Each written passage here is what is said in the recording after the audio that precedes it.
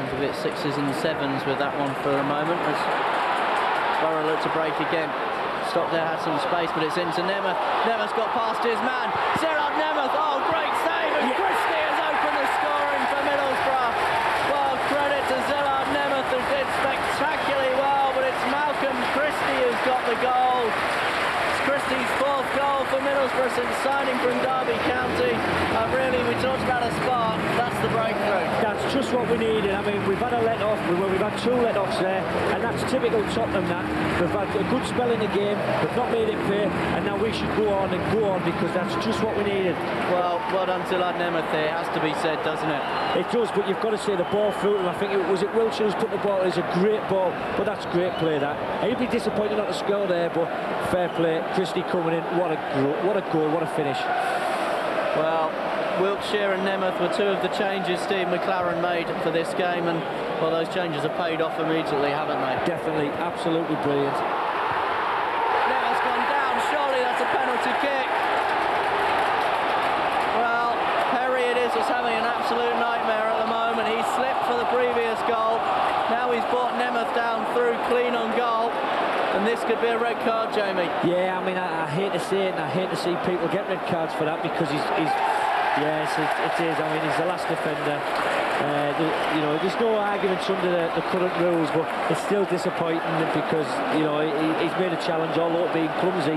Um, it's disappointing to see players get a red card for that. Well, here we see it again. Nemeth is the final man, isn't it? He's the final defender. Well, uh, I think he's a, a, very unfortunate man there. I mean, you know, just watching that again as Nemeth goes through. Looks outside the box to me. Yeah, it, it, uh, he has made contact, but I mean, it's it's difficult. But hey, we'll take that all day long. Well, it's a penalty kick. Juninho to take. Oh, Keller saved it, but it's got him now. hey! Wow, how unlucky for Kasey Keller. He made the save, the ball stayed on the line. Well, was that Brazilian arrogance or what? This is Juninho again. Juninho's gone inside ahead of Bunjevcevic. He's had a shot. Oh, it nearly slipped in underneath Keller. Wilkshire with a shot. Now Nemeth. Oh, that's another one. Well, it's three in 27 minutes for Middlesbrough. Szilard Nemeth has justified his inclusion in the side. He's run straight over to the bench. It's now seven goals in 19 starts. I mean, that is unbelievable. You just look there now, you look at the top Tottenham players, and they're demoralised. That is unbelievable. They have completely, completely just folded. I mean, it's unbelievable to see a professional team just fold in such a way. Well, Szilard Nemeth, there'd been some press stories about him in the week from when he was away on international duty saying he wanted to start more. He's certainly done the right thing today. Had a magnificent hand in the first. King struggling to control that one. Nemeth it is that's going to play Maccarone and flag has stayed down. Maccarone! Oh, it's number four for Middlesbrough. And Massimo Maccarone's only been on the pitch five minutes. And he's scored his eighth goal of the season. He's leading goal scorer for Boro. Well, we have started the second half much low. We ended the first, Jamie. Yeah, absolutely brilliant. Again, Tottenham all over at the back, taking chances, very sloppy defending, but fair play, Nemeth there, he's, you know, he's won the ball and he's unselfishly, he's put Maccarone in. What a great finish. I mean, that's superb for Maccarone. Well, if Steve McClaren and the chairman and the chief executive wanted a nice way to send their fans off to the summer, this has certainly been the afternoon for it, hasn't Absolutely it? brilliant. I mean, you talk about wanting a convincing performance at home. This has been brilliant. This will be one that lifts the fans. Massimo Maccarone there, linking up well with Szilard Nemeth. Credit again to the Slovakian, and an excellent finish by the Italian. It's a Tottenham free kick, nonetheless, chance for them maybe to restore a certain amount of parity back into the score, store, the scoreline.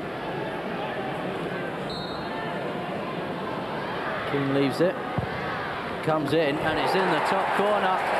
And it's a fantastic goal in the end. Jamie Redknapp has scored the goal that's put Tottenham back at 4-1. The game you'll see on Boro TV Extra on Monday night at 6.15, of course. If they are to stay in the Premiership next season. So it should be another cracker next week. This is Juninho again. Ball through to Maccarone. Maccarone has made it five. Flag has stayed down. There was a couple of anxious looks to the linesman, but it's 5-1. Moonwalking Maccarone as well there. Yeah, I mean, it's 5-1, and where's it going to end? Is it 6? Is it 7? Is it 8? Tottenham are absolutely shocking. Uh, Massimo Maccarone's ninth goal this season for Middlesbrough. I mean, that's not taken away from Middlesbrough because the football Middlesbrough played and, the, you know, the quality of the, the movement and the position and the finishing has been superb. Well, Massimo Maccarone has scored his second. It'd be great for the Italians to get a hat-trick here this evening, this afternoon. And I think while you're seeing the replays of Massimo Maccarone, Steve McClaren's lining up a substitution. I think young Stewart Downing could be getting a bit of a run out in this one. Great, well-taken goal by Massimo. So bad for Tottenham, I'm sure you were. Straighty, he just lashed out, I think. Yeah, I'm sure the referee Nunez ball was into Maccarone again. Maccarone's toe poked it just past the post. But I thought the Italian was on for his hat trick.